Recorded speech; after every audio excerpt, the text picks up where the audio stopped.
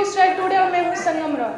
Corona को हराने के लिए जहाँ एक तरफ़ सरकार को घरों में रहने के लिए बोल रही है बार बार आग्रह कर रही है कि घर में रहें, इस महामारी में घर से बाहर ना निकले। यदि अत्यंत आवश्यक हो, तभी घर से बाहर निकले।